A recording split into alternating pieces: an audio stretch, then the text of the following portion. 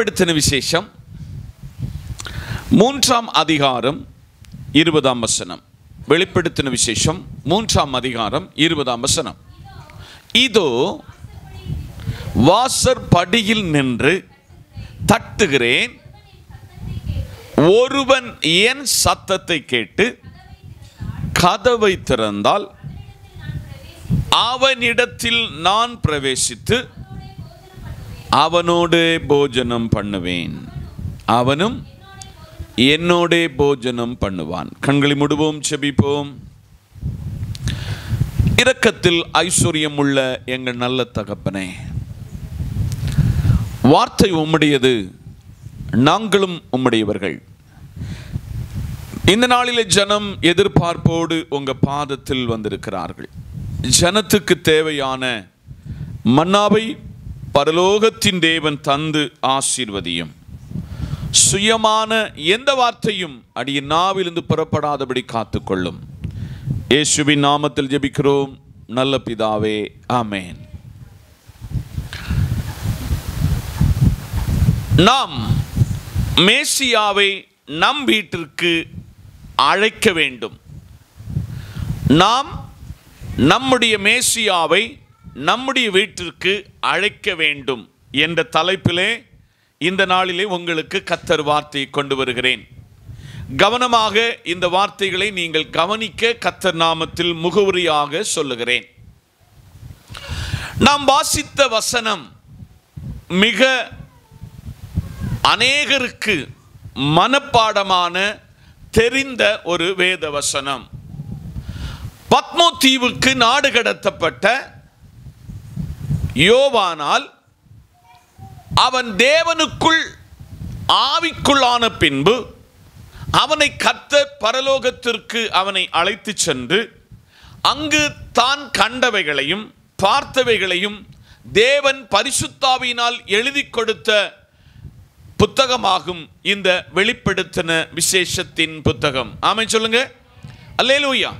அதனுடைய மூன்றாம் அதிகாரத்தின் இருபதாவது வசனத்தில் ஒரு ஆழமான காரியத்தை தேவனை நாம் அழைக்கும் பொழுது தேவன் மேசியா நமக்கு என்ன செய்வார் என்ற ஒரு பெரிய ஆழமான சத்தியத்தை அங்கு சொல்லப்பட்டிருக்கிறது. மறுபடியும் அதை வாசிக்கலாமே. இதோ போதும். நல்ல கவனிக்கணும். தேவனாகிய மேசியா அல்லது கிறிஸ்து ரட்சகர் கர்த்தன் வாசற்படியில் நின்று கதவை தட்டுகிறேன். நல்ல கவனிக்க வேண்டும். வாசற்படியில் நின்று கதவை தட்டுகிற ஒரு மேசியாவை ஆராதிக்கிறீர்கள். இன்றைக்குள்ள நவீன உலகத்தில் தெய்வத்தை தேடி மனிதன் பல பண பணங்கள் செலவழித்து நடந்து பிரயாணித்து தெய்வத்தை தேடுகிறான். ஆனால் மேசியா அப்படிப்பட்டவர் அல்ல. நான் நீ குடியிருக்கிற நீ வாசம் பண்ணுகிற உன்னுடைய வீட்டில் நான் வாசற்படி நின்று கதவை தட்டுகிறேன். பொதுவாக நம்முடைய வீடுகள் எல்லாம் இரவாகும் பொழுது அல்லது கணவன் இல்லாத நேரங்களில் நம்முடைய பெற்றோர்கள் இல்லாத நேரங்களில் பல வீடுகள் பெரும்பாலான வீடுகள் கதவடைக்கப்படுகிற அனுபவம். அப்படி அடைக்கப்பட்டிருக்கிற ஒருவேளை இரவிலே நம்முடைய வீடுகள் அடைக்கப்படுகிறது சகஜம். ஆனால் கத்தருடைய வார்த்தை சபைக்கு உரைக்கப்படுகிறது. இதோ நான் வாசற் படியில் நின்று கதவை தட்டுகிறேன். ஒருவன் என் சத்தத்தை. ஒருவன் என் சத்தத்தை கேட்டு கதவை திறந்தால் அவனிடத்தில் நான் பிரவேசித்து அவனோடு கூட போஜனம் பண்ணுவேன் அவனும் என்னோடு போஜனம் பண்ணுவான். அல்லேலூயா. எவ்வளவு மகிமையான ஒரு தெய்வம் எவ்வளவு மகத்துவமான ஒரு தெய்வம் எவ்வளவு மேன்மையான தெய்வம் எவ்வளவு மனசுள்ள ஒரு தெய்வமாகும் நம்முடைய தேவனாகிய மேசியா என்று ஒன்று சிந்தித்து பாருங்கள். இந்த நல்ல நாளிலே இந்த தலைப்பை நீங்கள் நன்றாய் உணர்ந்து கொள்ளுங்கள். இந்த தலைப்பு சபையை படிப்பிக்கிறது நாம் மேசியாவை நம் வீட்டுக்கு அடைக்கும் பொழுது அவர் வருவார். அலேலூயா அவர் வருவார். மிக ஆழமான காரியத்தை ஆண்டவர் நமக்கு கற்றுக் கொடுத்து வருகிறார். ஒரு வசனத்தை கூட வாசித்து மூன்று காரியங்களை சுருக்கமாக உங்களிடத்தில் தேவ பாதத்தில் கைமாறி கொடுத்து உங்களுக்காக ஜெபிக்க ஆசைப்படுகிறேன். சங்கீதங்களின் புத்தகம் இருபத்தி நான்கு ஏழு எட்டு ஒன்பது ஆகிய வசனத்தை நிறுத்தி வாசிக்கலாமே. வாசல்களே நல்ல கவனியுங்கள். வாசல்களே உங்கள் தலைகளை உயர்த்துங்கள். வாசிக்கலாம்.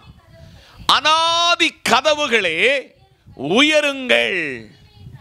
மகிமையின் ராஜா உட்பிரவேசிப்பார். யார் இந்த மகிமையின் ராஜா? அவர் வல்லமையும் பராக்கிரமமுள்ள கர்த்தர். யுத்தத்தில் பராக்கிரமமுள்ள கர்த்தராமேன் கரங்களை தட்டி கத்தருக்கு ஸ்தோத்திரம். அல்லேலூயா. இருபத்தி நாலாம் சங்கீதத்தின் எழுத்தாளன் மிக தெளிவாக மிக ஆழமாக மேசியாவை நம்ம வீட்டுக்கு அழைத்தோம் என்று சொன்னால் அந்த மேசியா நம்ம வீட்டுக்கு வருவார் என்று சொல்லி வாசலை மென்ஷன் பண்ணுகிறார் வாசலை நமக்கு முன் வைக்கிறார். புரிந்து கொள்ளுங்கள். நம்முடைய இருதயமாகிய வாசலில் தலைகளை உயர்த்துங்கள். வாசிக்கலாம். அனாதி கதவுகளே. உயருங்கள். மகிமையின் ராஜா உங்க வீட்டில் உட்பிரவேசிக்க வேண்டும். அலையலூயா இன்னைக்கு பல நேரங்களில் இயேசு நம்முடைய வாசல்ல வந்து நம்ம வீட்டில் நடக்கிற சண்டை வீட்டில் நடக்கிற பிரிவினைகள் வீட்டில் நடக்கிற தேவனுக்கு பிரியமல்லாததை பார்த்து வீட்டினுடைய வாசல்ல வந்து நின்று அவர் துக்கப்பட்டு போகிறார். இந்த நல்ல நாளிலும் சபையோடு விசுவாச குடும்பங்களோடு கர்த்தச் சொல்கிறார் அனாதி கதவுங்களே என்ன செய்யுங்க? உயருங்கள். மகிமையின் ராஜா நம்ம வீட்டுக்குள்ளே பிரவேசிக்க வேண்டும். கூப்பிட்டா தானே வருவாரு? அல்லேலூயா. கூப்பிடுகிற நம்மிடத்தில் கத்திருக்க கூப்பிட்டால் யார் அந்த மகிமையின் ராஜா என்று சங்கீதக்காரன் கேட்கிறார் அவர் வல்லமையுள்ளவர் பராக்கிரமசாலி யாகிய கர்த்தர் யுத்தத்தில் பராக்கிரமம் செய்கிற ஆண்டவர். வாசல்களே உங்கள் தலைகளை உயர்த்துங்கள் அனாதி கதவுகளை உயருங்கள் மகிமையின் ராஜா உட்பிரவேசிப்பார். இந்த ரெண்டாயிரத்தி இருபத்தி நாலாம் ஆண்டு அடுத்த ஒரு மாசத்துக்குள்ள பிரவேசிக்கிற சபையாரை விசுவாசிகளை கர்த்தர் பார்த்து சொல்லுகிறார். நான் உங்க வீட்டுக்கு வர விரும்புகிறேன். ஆமாம் சொல்லுங்க. நான் உங்கள் வீட்டுக்கு வர விரும்புகிறேன். உங்கள் வீட்டுக்கு நான் வர விரும்பினால் நீங்கள் நான் கூப்பிடும் பொழுது என் சத்தத்துக்கு என்ன செய்யணும்? செவி கொடுக்க வேண்டும். நீங்கள் செவி கொடுப்பீர்கள் ஆனால் கர்த்தர் உங்கள் பட்சமாய் இருப்பார் என்று ஆவியானவர் திருவுள்ளம் பற்றுகிறார். மூன்று காரியங்களை இந்த காலையிலே ஜெபத்தோடு உங்களோடு தேவ சமூகத்தில் ஷேர் பண்ணி உங்களுக்காக ஜபிக்க தேவ சமூகத்தில் ஜபத்தோடு நிற்கிறேன். வாசிக்கலாம். உங்களுக்கு எல்லாருக்கும் நன்றாக தெரிந்த ஒரு வேத பகுதி. லூக்கா எழுதின சுவிசேஷம் பத்தாம் அதிகாரம் முப்பத்தி எட்டாம் வசனம். லூக்கா பத்து முப்பத்தி எட்டு. பின்பு அவர்கள் பிரயாணமாய் போகையில் அவர் ஒரு கிராமத்துக்குள் பிரவேசித்தார். அங்கு மார்த்தாள் என்னும் பேர் கொண்ட ஒரு ஸ்திரீ அவள் தன் ஆண்டவராயிருக்கிற இயேசுவை வீட்டில் ஏற்றுக்கொண்டாள். ஆமை சொல்லுங்க. விரும்பி அலையுங்கள் மேசியா உங்க வீட்டுக்கு வருவார். சொல்லுங்க. விரும்பி அழங் அழையுங்கள் மேசியா உங்க வீட்டுக்கு வருவார். எத்தனை பேர் நம்புகிறீங்க? விரும்பி. சொல்லுங்க. விரும்பி அழைத்தால் மேசியா உங்க வீட்டுக்கு வருவார். பெத்தானியாவில் உள்ள லாசருடைய வீடு. அங்கு மார்த்தாள் மரியாள் எனப்பட்ட அன்பு சகோதரிகள் இருந்த ஒரு கிராமம். இயேசு பட்டணங்கள் தோறும் கிராமங்கள் தோறும் கடற்கரை தோறும் கத்தருடைய ராஜ்யத்தின் கனமான பணியை செய்து வருகிற காலத்தில் இயேசு அந்த கிராமத்தின் வழியாக அந்த கிராமத்தில் வழியாக பிரவேசித்த பொழுது அங்கே மார்த்தாள் என பெயர் கொண்ட ஒரு ஸ்திரீ அவரை தன்னிடம் என்ன செய்து கொண்டாள்? வீட்டுக்கு வரும்படி ஏற்றுக்கொண்டார். இயேசு அந்த வீட்டுக்கு போனாரா? போகலையா? போனார். அந்த வீட்டிலே பல நாட்கள் செலவழித்தார். அந்த வீட்டிலே துக்கம் வந்த பொழுதும் அந்த வீட்டில் இழப்பு வந்த பொழுதும் அவர்கள் பட்சம் நின்றார். அவர்கள் கூக்குரலுக்கு ஆண்டவராக இருக்கிற மேசியா அவர்களுக்கு பதில் கொடுத்தார். கரங்களை தட்டி ஸ்தோத்திரம் பண்ணுவோம். இந்த நல்ல கால வேளையிலே பரிசுத்த தேவனாகிய கர்த்தர் ஒன்றாவது சொல்லுகிறார். நீ விரும்பி அழைத்தா மேசியா உங்கள் வீட்டுக்கு வருவார். ஆமாம் சொல்லுங்க. உங்களுக்கு விரும்பி அழைக்கிற அனுபவம் இயேசுவை மார்த்தாளை போல அழைக்கிற அனுபவம் உங்களுக்கு உண்டோ என்று ஆண்டவர் கேட்கிறார். ரெண்டாயிரத்தி இருபத்தி நாலாம் ஆண்டை ஒரு புதிய ஆண்டை தொடங்கி இருக்கிற சபையே மார்த்தாளை போல இயேசுவை வீட்டுக்கு அழைக்கிறீங்களா? மார்த்தாள் இயேசுவை விரும்பி தன்னுடைய வீட்டுக்கு அழைத்த பொழுது மார்த்தாளுக்கு ஒரு பெரிய ரகசியத்தை கற்றுக்கொண்டாள். என்ன கற்றுக்கொண்டாள்? நான் எவ்வளவோ வீட்டு வேலைகளை கவனிக்கிறேன். நான் என்னென்ன காரியங்களை வீட்டில் கவனிக்கிறேன்? உங்களுக்கு சாப்பாடு கொடுக்கணும். லாசருக்கு சாப்பாடு கொடுக்கணும். ஆனால் அவள் பலதை குளித்து குழம்பிக் கொண்டிருக்கும் பொழுது வருந்தி அழைத்த மார்த்தாளை பார்த்து ஆண்டவர் சொல்லுகிறார் நீ பற்பல காரியங்களை குறித்து நீ என்ன செய்கிறாய்? கவலைப்படுகிறாய். தேவையானது ஒன்று மரியாள் தன்னை விட்டு எடுபடாத நல்ல பங்கை தெரிந்து கொண்டாள். அலேலூயா அலேலூயா இந்த மார்த்தாளை போல ஆண்டவரிடத்தில் வருந்தி கேட்டுக்கொள்ளுகிற அனுபவம். யாரை போல? எங்க வீட்டுக்கு வாரும் என்று கேட்டுக்கொள்ளுகிற அனுபவம் எனக்கு உங்களுக்கு வேணும். சொல்லுங்க. அலையலூயா அலையலூயா ஆனபடியால் இந்த நல்ல காலையில் இந்த மரியாளும் மார்த்தாளுடைய வாழ்க்கையில் ஒரு உண்மையை உங்களுக்கு வெளிப்படுத்தி காட்டுகிறேன். அவர்கள் இருவரும் ஒருவேளை தேவ சமூகத்தில் பிற்காலத்தில் மார்த்தாள் தேவ சமூகத்தில் பல முறுமுறுப்பு வந்தாலும் ஆனால் அவர்கள் இருவரும் இயேசுவை ஏற்றுக்கொண்டது நிமித்தமாக. அந்த வீட்டுக்கு என்ன வந்துச்சு? வியாதி வந்துச்சு. இயேசுவை வீட் ஏற்றுக்கொள்கிற வீட்டுக்கு நெருக்கம் வரும். துக்கம் வரும். பிரயாசம் வரும். இழப்பு வரும். ஆனால் நல்ல புரிந்து கொள்ளுங்கள். ஒரு உண்மையை அறிந்து கொள்ளுங்கள். அந்த வீட்டில் உள்ளவர்கள் இயேசுவை வருந்தி இயேசுவை விரும்பி அவர்கள் ஏற்றுக்கொண்டார்கள். ஏற்றுக்கொண்டது நிமித்தமாக மறித்து போன ஒருவனை நாலு நாள் கல்லறையில் வைத்தவனை இயேசு அவனை உயர்ப்பித்தார் மேசியா உயிர்ப்பித்தார். இன்னைக்கு காலையில் கர்த்தர் கேட்கிறாரு உங்கள் வீட்டில் இந்த இயேசுவை விரும்பி அழைக்கிறீர்களா? இந்த நல்ல காலை வேளையிலே அன்பான தேவ பிள்ளைகளே பரிசுத்தாவியானவர் சபையோடு விசுவாச குடும்பங்களோடு பேசுகிறார். நீங்கள் மார்த்தாளை போல இயேசுவை விரும்பி கூப்பிடுகிறீங்களா? கவனிங்க. இயேசுவை வீட்டுக்கு விரும்பி கூப்பிடுகிறீங்களா? கூப்பிட்டாள். மார்த்தா வீட்டுக்கு யார் போனா? மேசியா போனார். ஆமென் சொல்லுங்க.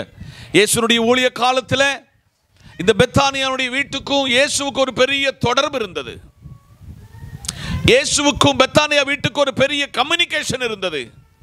அந்த கம்யூனிகேஷன் அவங்களுடைய வாழ்க்கையில் ஆபத்து வந்த பொழுது மரணம் வந்த பொழுது இழப்புகள் வந்த பொழுது ஒருவேளை ஆரம்பத்தில் இயேசு வராவிட்டாலும் அவர்களுடைய இழப்புக்கு ஒரு காரியம் அங்கு நடந்தது. அவர்கள் பட்சமாய் அவர் செயல்பட்டார். கரங்களை தட்டி ஸ்தோத்திரம் பண்ணுங்க. அடுத்தபடியாக லூக்கா இருபத்தி நாலாம் அதிகாரம் இருபத்தி ஒன்பதாம் வசனம். லூக்கா இருபத்தி நான்கு இருபத்தி ஒன்பது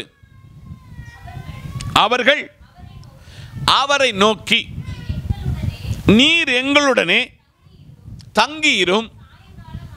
சாயங்காலம் ஆயிற்று பொழுதும் போயிற்று என்று அவரை கரங்களை தட்டி எப்படியா? வருந்தி. ஒன்று விரும்பி. சொல்லுங்க. விரும்பி. மேசியாவை நம்ம வீட்டுக்கு எப்படி கூப்பிடணும்? விரும்பி கூப்பிடணும்.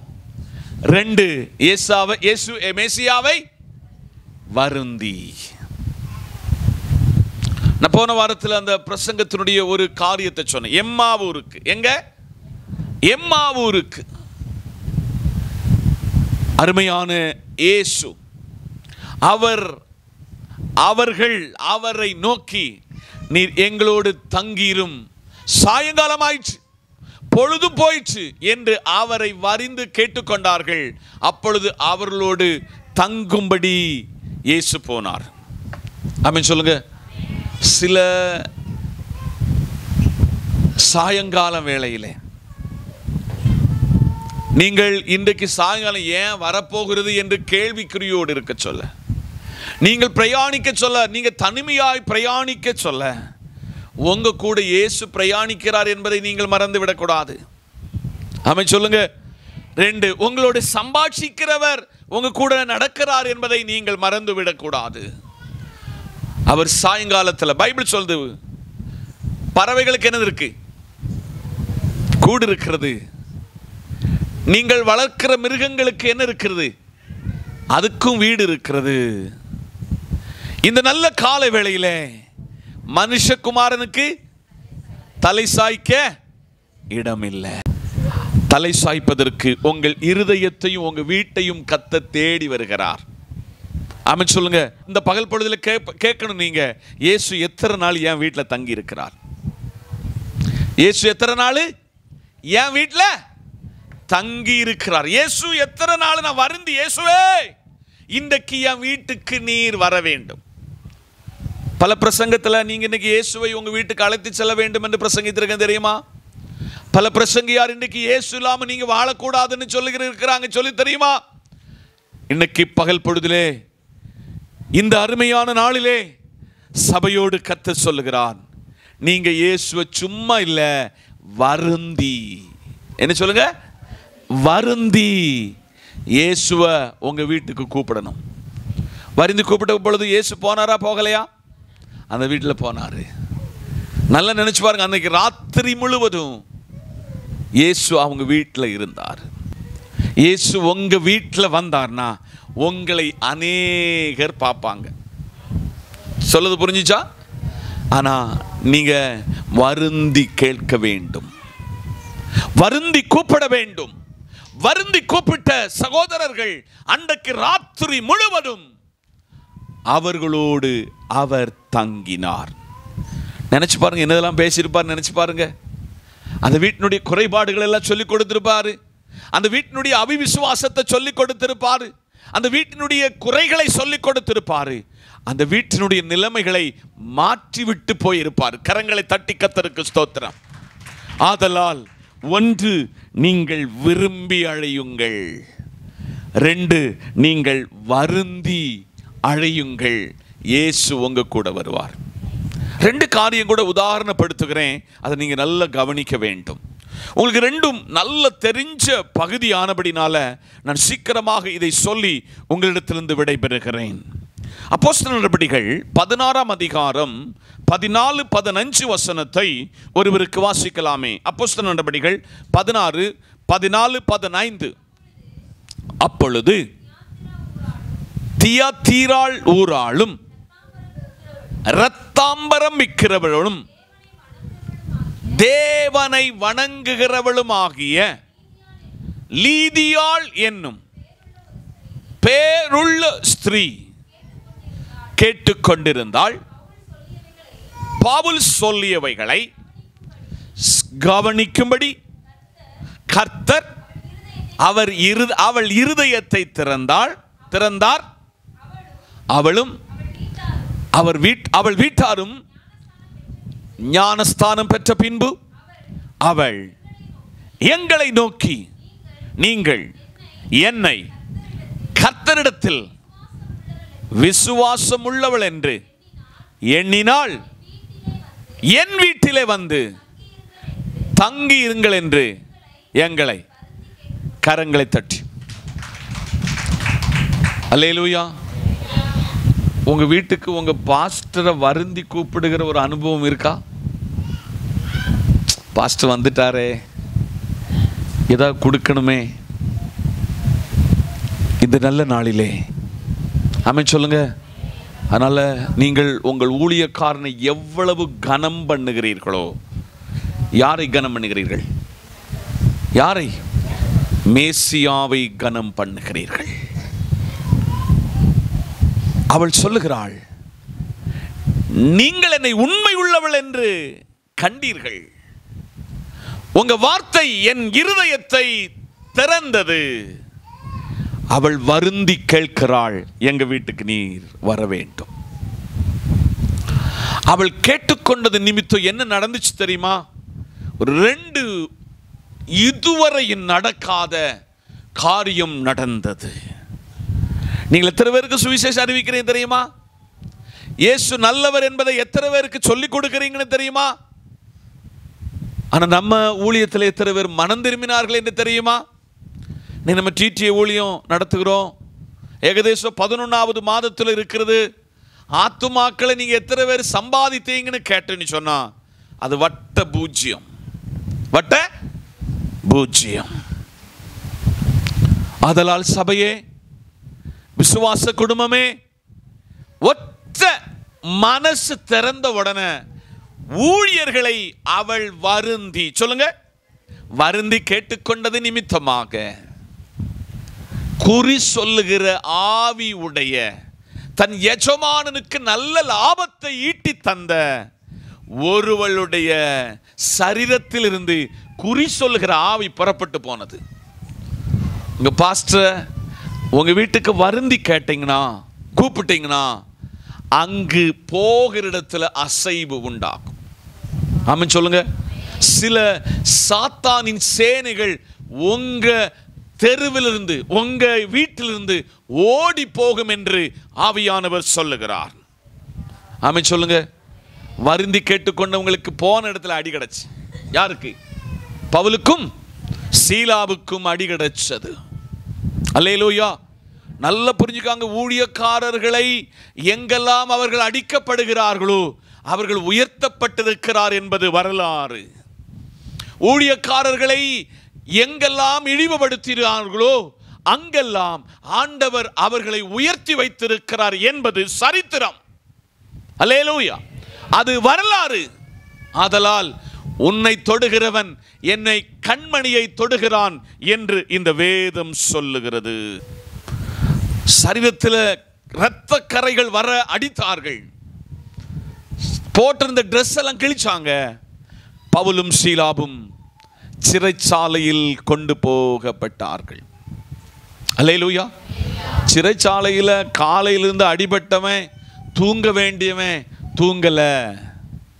காவல் காக்க வேண்டியவன் தூங்கிட்டான். அவர்கள் இரவிலே கத்தரை துதித்தார்கள். ஆமாம் சொல்லுங்க. துதித்த பொழுது சிறைச்சாலையினுடைய ஒன்றாவது ரெண்டாவது காவல் திறக்கப்பட்டது. அல்லேலூயா. சிறைச்சாலை அதிகாரி தன் சரீரத்தில் தன்னை கொல்லுவதற்காக அவன் வாளை எடுத்த பொழுது பவுலும் சீலாவும் சொன்னார்கள் உன் சரீரத்துக்கு ஜீவனுக்கு எந்த எந்த தீங்கையும் கேடையும் செய்யாத நாங்கள் இதுக்குள்ள இருக்கிறோம். சிறைச்சாலை அதிகாரி சொன்னான் எஜமானன்மாரே ரட்சிக்கப்படுவதற்கு நாங்கள் என்ன செய்யணும்? ஊழியக்காரரை நீங்கள் வருந்தி உங்க வீட்டுக்கு கேட்டுக்கொண்டால் உங்க வீட்டுக்கு ஊழியக்காரனுடைய பாதங்கள் பட்டதென்றால் உங்கள் வீட்டில் இருக்கிற எல்லா அந்தகாரத்தின் ஆவிகள் ஓடி போகும் அந்தகாரத்தின் வல்லமைகள் உங்கள் வீட்டை விட்டு ஓடி போகும் அவ்வளவு வல்லமையோடு தேவன் கொடுத்திருக்கிற அபிஷேகத்தை உங்கள் வீட்டில் வந்து படும். ஆமை சொல்லுங்க. அதனால் இன்றைக்கு வரை எங்க ஊழியக்காரன் வருது உங்களுக்கு வசனமா தெரிகிறதா? ஏன் வருகிறார் என்று கேட்கிறீங்களா? இந்த நல்ல காலையிலே வருந்தி கேளுங்கள். லீதியாளை போல. பாஸ்டர் இன்னைக்கு எங்கள் வீட்டில் உங்கள் கால் ஒன்று படணும். அல்லே லூயா உங்கள் பாதம் ஒன்று படணும். நீங்கள் வந்து ஒரு வாக்கு ஒன்று ஜெபம் பண்ணணும். அப்படி ஊழியக்காரரை ஏற்றுக்கொண்ட ஊழியக்காருடைய ஜெபம் தேவைப்பட்ட குடும்பங்கள் ஆசீர்வதிக்கப்பட்டிருக்கிறது. அந்த குடும்பங்களிலே அசைவு உண்டாயிருக்கிறது. அந்த குடும்பங்களிலே சரித்திரம் மாற்றப்பட்டிருக்கிறது. என்பதை இந்த காலையில் உங்களுக்கு அறிவிக்கிறேன். நாங்கள் ஒரு எஸ்டேட் குவார்டர்ஸில் தான் வாழ்ந்தோம். அன்பான தேவ பிள்ளைகளே அந்த எஸ்டேட் குவார்டர்ஸில் ஒருவேளை நாங்கள் ஒரு சபையோடு ஐக்கப்பட்டிருந்தாலும் தேசத்தில் வருகிற பல பரிசுத்தவான்கள் கால் ஊன்னின அந்த வீட்டை ஆண்டவர் கனப்படுத்தினார். அந்த சந்ததிகளை கத்தர் ஆசீர்வதித்தார். அந்த சந்ததிகளிலிருந்து நாலு ஊழியர்களை தேவன் எழுப்பினார். இன்னைக்கு ஆண்டு விட்ட பொருத்தனை பண்ணணும். ஆண்டவரே என் வீட்டுக்கு என் ஊழியக்காரனை நான் வருந்தி கேட்டு என் வீட்டுக்கு அழைத்து சொல்லுவேன். அழைத்து சென்றால் உங்கள் நிமித்தமாக சிலருடைய கட்டுகள் கட்டவிழ்க்கப்படும் என்று ஆவியானவர் திருவுள்ளம் பற்றுகிறார். அல்லேலூயா. ஒன்று விரும்பி அழையுங்கள் மேசிய உங்கள் வீட்டுக்கு வருவார். ரெண்டு வருந்தி அழையுங்கள். மேசியா உங்க வீட்டுக்கு? வருவார். மூன்று. லூக்க பத்தொன்பது. அஞ்சு முதல் ஏழு வரை சீக்கிரம் வாசிங்க. இயேசு அந்த இடத்தில் வந்த பொழுது அண்ணாந்து பார்த்து அவனை கண்டு சகைவே சீக்கிரமா இறங்கி வா. இன்றைக்கு நான் உன் வீட்டில் கரங்க தங்க வேண்டும் என்றார் சீக்கிரமா இறங்கி கரங்களை தட்டி. ஏசப்பாவை சந்தோஷத்தோடு உங்க வீட்டுக்கு அழைக்கணுமா? சொல்லுங்க. எப்படியா? சந்தோஷத்தோடு இயேசுவை உங்க வீட்டுக்கு அழைக்கணும். அல்லேலூயா. சகை யாரு தெரியுமா? டாக்ஸ் பிரிக்கிற இந்த டாக்ஸை கலெக்ட் பண்ணுகிற ஒரு மனுஷன். என்ன என்ன பிரிக்கிறவன்? வரி பிழிக்கிறவன் ஆள் ஆறு. குள்ள மனுஷன். இந்த குள்ள சக்கையும் இயேசுவ நான் பார்க்கணும். ஆனா இயேசு என்ன என்ன செய்யக்கூடாது? ஏன்னா ரொம்ப திருட்டுத்தனமா பணத்தை சம்பாதித்தவன். அவன் அடுத்து கண்டுபிடிச்ச உபாதி என்னவென்றால் ஒரு மரத்தில் ஏறி அது காட்டத்தி மரத்தில் ஏறி இயேசுவை நான் பார்க்க வேண்டும். இயேசு என்னை பார்க்க கூடாது என்று அவன் மரத்தில் ஏறினான். ஒரு கூட்ட ஜனங்கள் இயேசுவோடு கூட சஞ்சரித்து வருகிறார்கள். சீஷர்கள் இயேசுவோடு சஞ்சரித்து வருகிறார்கள். இயேசு மரத்துக்கிட்ட வந்தவனு நின்னாரு. ஆமாம் சொல்லுங்க. எல்லாருக்கும் ஆச்சரியம். என்னடா இவ்வளோ தூரம் இவ்வளோ ஸ்பீடாக நடந்து வந்தவர்? ஆமாம் சொல்லுங்க. இயேசு சஞ்சரித்து எத்தனை கிலோமீட்டர் அவர் சஞ்சரித்திருப்பார் என்று ஒரு கணக்கை வேத பண்டிதர்கள் சொல்லுகிறார்கள். அது எத்தனை உண்மைன்னு எனக்கு தெரியாது. அவர் கால்நடையாக நடராஜ யாத்திரை பண்ணினவர். ரொம்ப ஸ்பீடா புரி ஜனங்களோடு திரளான ஜனங்களோடு போக ஒரு மரத்துக்கிட்ட வந்து நிற்கிறாரு. அண்ணாந்து பார்க்குறாரு. பார்த்து சொல்றாரு சக்கைவே சீக்கிரமா இறங்கி வா. அவன் சொல்லுங்க. அல்லேலூயா. அவன் ஏற சொல்ல ஸ்லோவாக தான் ஏறிப்பான். அப்படிதானே? அல்லேலூயா. மரம் ஏற தெரிந்து சகோதரிமார் இருக்கிற சகோதரர்கள் எத்தனை ஒன்று நினச்சி பாருங்கள் நான்லாம் சில நேரத்தில் சில மரத்தில் ஏறிட்டு இறங்கப்பட்ட பாடி எனக்கும் ஆண்டவருக்கு தான் தெரியும். அல்லேலூயா. அல்லேலூயா. ஏறிடுவோம் சீக்கிரம். ஆனால் இறங்குறது கஷ்டம். இந்த நல்ல நாளிலே சீக்கிரமா இறங்கி வா என்று சொன்ன மாத்திரத்தில் அவன் சீக்கிரமாகவே இறங்கி வந்தான். அவனை பார்த்து வேற ஒன்றும் சொல்லலை. இன்னைக்கு உன் வீட்டில் நான் ராத்தங்க வேண்டும். அவன் ஒரு வார்த்தையை பயன்படுத்தி இருக்கிறான் சந்தோஷத்தோட. சொல்லுங்க. அல்லேலூயா. மேசியாவை உங்க வீட்டுக்கு சந்தோஷத்தோடு கூப்பிடணும். அமைச்சு சொல்லுங்க. சந்தோஷத்தோடு கூப்பிட்டா யார் வருவா? மேசியா வருவார். எப்படி கூப்பிடணும்? சந்தோஷத்தோட. அவன் சந்தோஷத்தோடு போட சொல்லுதான் ஆண்டவரே யாருக்கிட்டையாவது அநியாயமாக வாங்கினது உண்டானால் என்னது?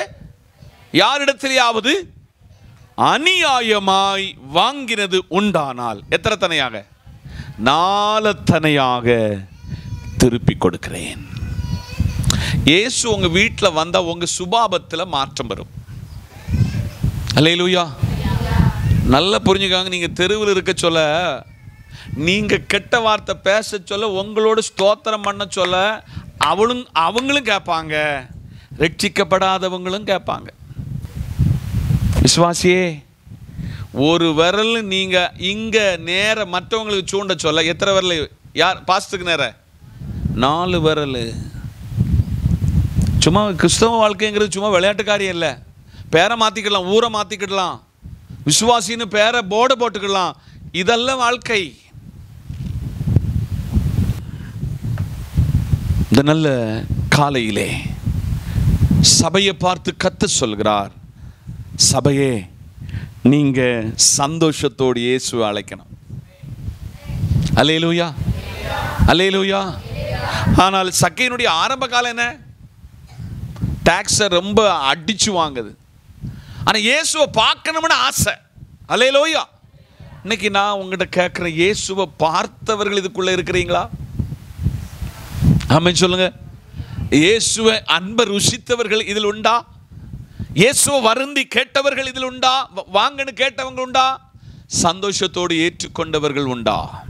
அலே லூயா இந்த நல்ல நாளிலே